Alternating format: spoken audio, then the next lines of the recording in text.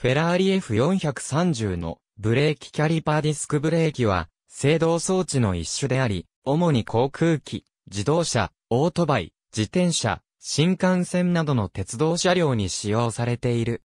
車輪と共に回転する金属の円盤をパッドなどで両側から挟み込むことによって制動する。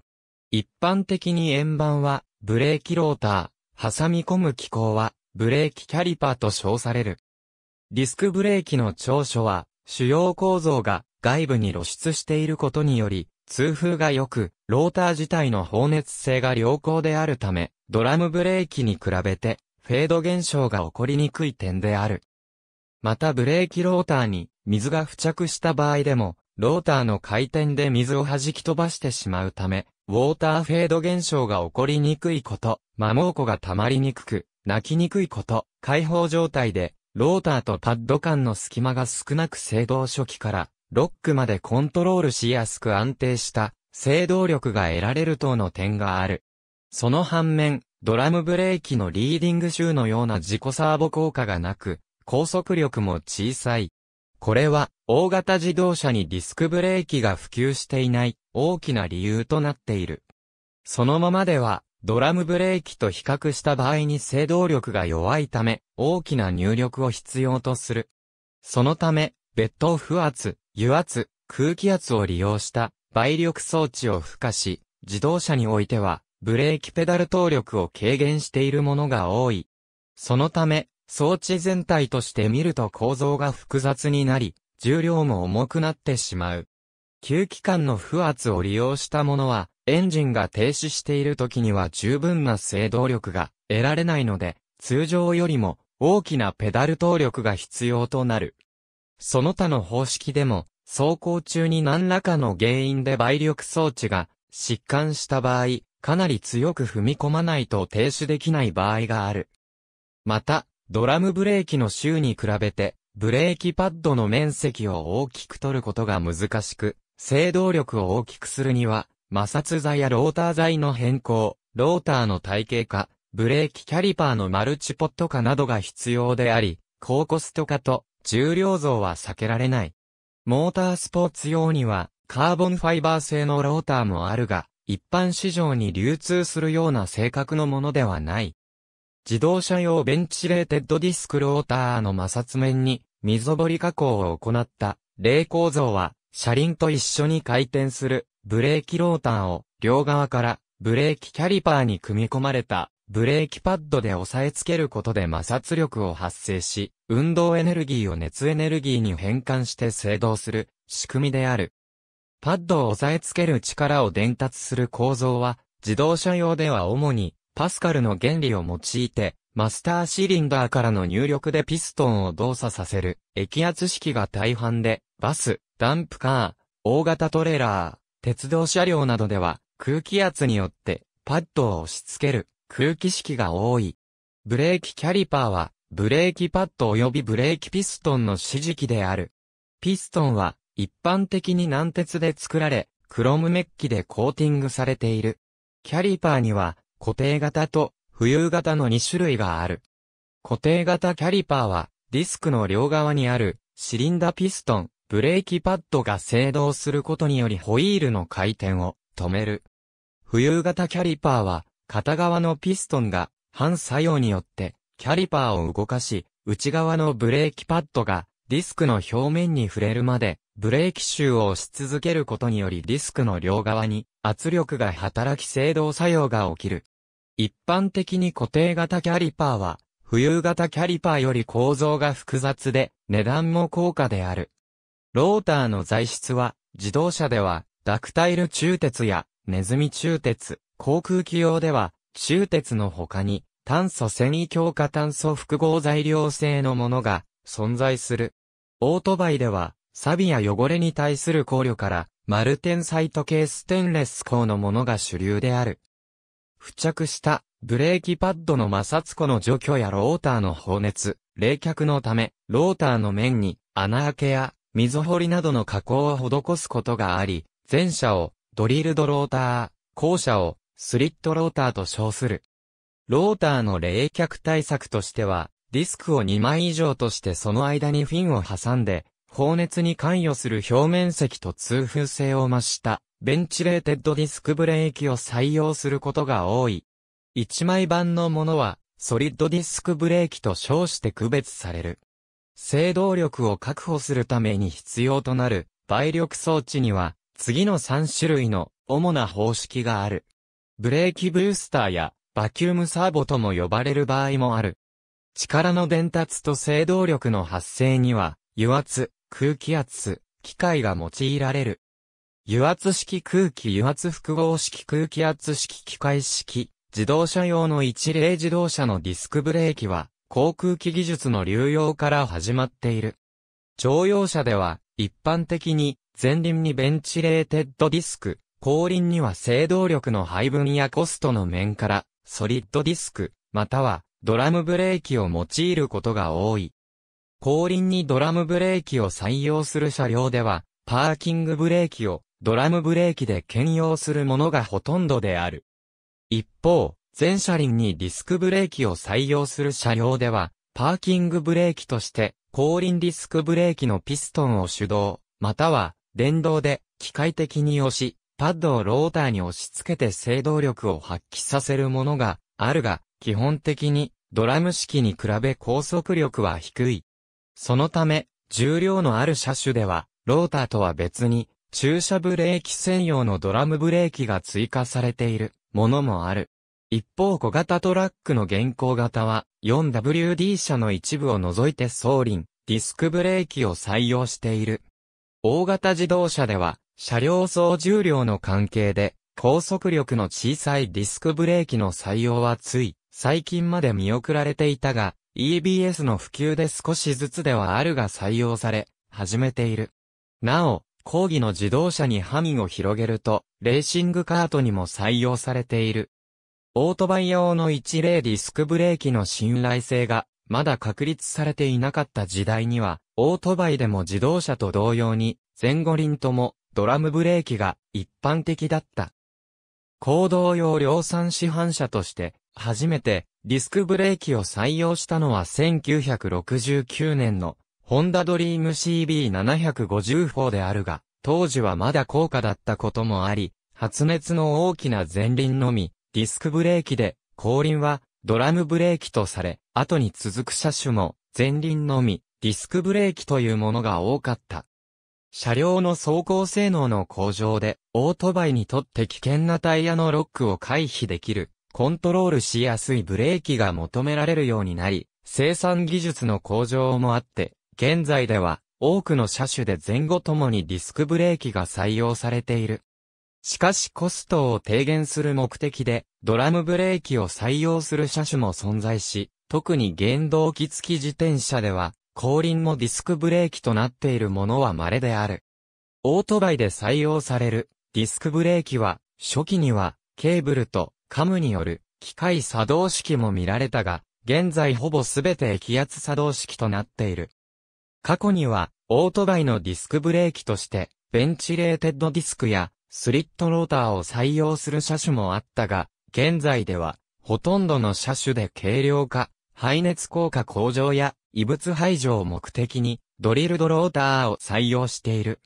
ローター周辺への異物混入が多い、オフロードタイプでは、異物を速やかに、ブレーキキャリパーから書き出すことを目的として、ローターの演習が波打っている、ウェーブローターを採用するものもある。オートバイは、車両重量が自動車と比べて圧倒的に軽いため、ほとんどの車種で倍力装置を採用しておらず、操作レバーや操作ペダルのレバー比や、マスターシリンダーの液圧比だけで制動力を確保している。なお、排気量が 400cc を超える車種では、前輪の左右両側にディスクを備えるダブルディスクブレーキを採用している場合が多い。また、高級車や大型車を中心として ABS を備えているものもある。自転車用の一例液圧式機械式初期の採用事例としては1970年代に流星した少年用スポーツサイクルに見られる。当時は過剰装飾の一貫視され、実用性能の面で本格的に普及したのは、今世紀のマウンテンバイクからである。自転車では、制動装置として、感知ブレーキ、V ブレーキ、液圧リムブレーキ等が使用されてきた。しかし、これらのブレーキはすべてホイールの災害臭である。リム部を利用するため、輪軸の原理から制動力の面では、優れるが、水や泥で、リムが汚れると極端に性能が落ちてしまう。ホイールに激しい衝撃が加わる、ダウンヒル競技などでは、リム部に歪みが発生し、リムブレーキでは一定の制動力を得られない。また、ホイール交換ごとに、ブレーキの設定を更新する必要がある、等の不満があった。これらを解決するために、すでに一般的技術となっていたキャリパー式のディスクブレーキを小型化、軽量化したものが自転車に採用された。自転車のディスクブレーキは、ブレーキレバーからブレーキ本体までの力の伝達方法によって、液圧式と機械式の2種に分けられる。主流である液圧式は、ピストンの個数や方式等により様々な商品が展開されている。機械式は、安価で V ブレーキなどの従来の機構が流用できる点やメンテナンス性に優れる点などが長所である。口述する油圧式の取扱い上の注意点もなく扱いやすい。ブレーキとしての能力を総合的に見て、以前は液圧式が圧倒的優位であり、機械式は入門用の完成車に装備される廉価版の位置づけであった。しかし最近では機械式の技術も向上し、液圧式との差は少なくなっている。自転車用のディスクブレーキは、パッドとローターの間への異物の混入を前提としているため、波形の円周を持つウェーブローターをはじめとし、ローターの形状やパッドの材質に独特の工夫が見られる。また、取り付けには、フレームやフロントフォーク、ホイールのハブに専用の台座が必要となる。液圧、機械どちらの方式もリムブレーキに対し重量面では劣る。一方で、ホイールの大きな部材であるリムのブレーキによる側面からの挟み付けに耐える強度や耐摩耗性を考慮する必要がなくなるため、その分を軽量化したディスクブレーキ専用ホイールも増えてきている。自転車用ディスクブレーキはリムブレーキに比してホイール交換の作業性が劣ることも欠点だったが、車軸を取り付ける、エンド部の強度を高める目的で導入された、スルーアクスルは、その原因である、エンドへの車軸の走コム方向と、ブレーキへのロータ差し込み方向が一致しないという、問題の解決にもなった。マウンテンバイクでは2000年頃から普及し始め、2010年代の主流になっている。シクロクロスバイクでは2010年に UCI 規則で解禁され、それに伴い採用が増えている。ロードレースにおいて UCI は2015年から試験的に採用して2017年からの本格採用を目指すことになり、この動きに合わせてディスクブレーキを採用したロードバイクが登場し始めていたが、2016年4月にフランシスコ・ベントソが足に負った重度の裂傷をブレーキローターによるものと主張したことにより、ロード競技においては、使用を中止する措置が取られる。その後ローターの外側に鋭利な角度の部分をなくす、加工を施すことを条件として2017年からの使用再開が決定した。ディスクブレーキは、和行のため前後輪を外し、袋に収納する際には、以下のことに注意する必要がある。鉄道車両の一例外側配置、東急7000系内側配置、京急サハ1900系鉄道車両では、制動力や耐フェード性の高さ、放熱性の向上、高速走行への対応などの目的で、ディスクブレーキが採用されている。鉄道のディスクブレーキ車両の場合、大重量の関係から、すべてがベンチレーテッドディスクである。ブレーキキャリパーの作動は、空気圧によって行われるものが一般的である。日本の在来線は国鉄をはじめ 1067mm 狂気が多く、バックゲージに余裕がないことから、当初は車輪そのものローターとした車輪ディスク方式が開発された。これは国鉄キハ80系機動車用の DT31 軽台車として採用されたが、もともと機動車では、バックゲージが、それほどタイトではなかったため、続く、国鉄キハ181系機動車の DT40、軽台車でも採用されたが、国鉄キハ183系機動車では、踏み面の雪の付着を防止するため踏み面ブレーキとなり、以降機動車の車輪ディスクブレーキは見られなくなった。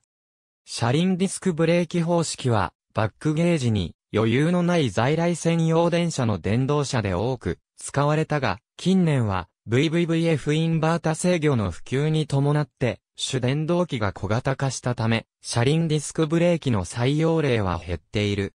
1435mm 標準機を採用した私鉄での採用例も少ないが、大出力を求められる新幹線や、京成 AE 型では、主電動機容量確保のために採用されている。在来線電動車で独立したローターを設ける方式として、貫通型軸受けを用いて、車軸を台車枠の外に取り付ける方式がある。これは、日立製作所が製造した相模鉄道向け直角、カルダン台車である、K1 シリーズで採用され、6000系から9000系まで採用された。ブレーキの作用は対向ピストンキャリパーとは若干異なり、ブレーキシリンダーのアームがテコを介して、パッドをローターに押し付ける形態になっており、同時にてこの原理で押し付ける力を強める。この方式は、テコリンク式と呼ばれ、相鉄以外では東急電鉄、東急車両が、アメリカのバッド社のパイオニア、3型台車ライセンス供与を受けて製造した際、原型のディスクブレーキでは 1067mm 狭軌の東急ではバックゲージが不足するためこの方式が採用された。バックゲージをあまり削ることなく装備できるほか、ブレーキ作動時に発生するパッドやディスクローターから出る鉄粉が動力系にあまりかからないというメリットがある。しかしコストが高くつく上、パイオニア3型の乗り心地が良くなかったため、他には南海電鉄と京王電鉄が採用したのみで、いずれも台車振り替えにより全廃されている。以降、この方式は、相鉄、日立のみで製造された。バックゲージの問題がない付随車では1.2枚のディスクローターを車輪間の車軸に装備する方法が一般的で、作動機構も航空機や自動車の対向ピストンキャリパーと同じ構造である。鉄道車両用ディスクブレーキは高性能ではあったが、車輪トレールの間に入り込み車輪の踏み面に付着した細かいゴミやゴミを取り除くことができないという欠点があり、その踏み面の汚れが制動時にレールとの摩擦力低下や車輪がロックして滑走することによるタイヤフラットの発生を引き起こす要因となっていたため、近年のディスクブレーキが採用されている車両では、粘着力確保とタイヤフラットを防止する目的で、ほぼすべての車両が踏みづら清掃装置を装備するか、踏みづらブレーキを併用している。材質に金属ではなく、炭素繊維強化炭素とすることも研究されている。C、C 素材は耐熱性に優れ、軽量で強度も十分という利点がある一方で、200摂氏300度程度の温度ではブレーキが安定しないという問題がある。これは摩擦摩耗に起因するものであり、この温度で最も激しくなるためという。三菱重工のグループは対策として酸化化合物を含浸させ、問題の起こる温度を上昇させることができた。また、大気中で、摂氏600度以上になると表面が酸化されて、劣化するなどの問題もあるが、この対策として、ブレーキディスク表面に炭化ケイ素のごく薄い皮膜を形成したところ、こちらも解決できたという。このディスクは、新幹線試験車両スター21に搭載される形で実車試験も行われた。新幹線では、ディスクブレーキ等の摩擦ブレーキは主に非常ブレーキとして使うことを想定されており、その使用頻度は低いと考えられる。三菱では、ブレーキ初速時速 350km から時速 0km までの減速で40回ほど使用できたとしており、非常ブレーキとして使うならば、耐久性も十分だと評価している。また、ブレーキディスクへの物理的摩擦でなく、渦電流を発生させて、電磁気的な抵抗によりブレーキ力を得る渦、電流式、ディスクブレーキも存在する。非接触のブレーキとして、新幹線100系電車以降の付随車に採用されたが、カゴ形参照誘導電動機となって軽量化された、モーターより、ブレーキ力を得るための電磁石が重くなってしまったこと、高速域のブレーキを、電動車の回生ブレーキで賄う遅れ込め制御の普及もあり、E1 系、N700 系以降は搭載されていない。大型旅客機に採用された多板式小型練習機に採用された単板式初期の航空機は自動車と同様ドラムブレーキを採用していた。しかし現代の大型旅客機ではブレーキローターを複数枚重ねた構造の多い多式ディスクブレーキが用いられる。このシステムは横方向スライド可能なようにディスクがフローティングされており、幾重にもパッド交互に重ねられたものが共に一つのキャリパーに挟み込まれることで制動する。このためディスクの有効面積を稼げ、半径方向にコンパクトになるが、構造が複雑になりやすく、特に連続制動時の放熱性に劣る欠点がある。ただし航空機の場合、大きな制動力を必要とするのは着陸滑走時に限られるため、放熱性は特に問題とはされない。小型機では、軽量で負荷が小さいため、自動車と同じような単板式が採用されることもある。また、自動車よりもかなり早い1960年代から ABS が実用化されていた。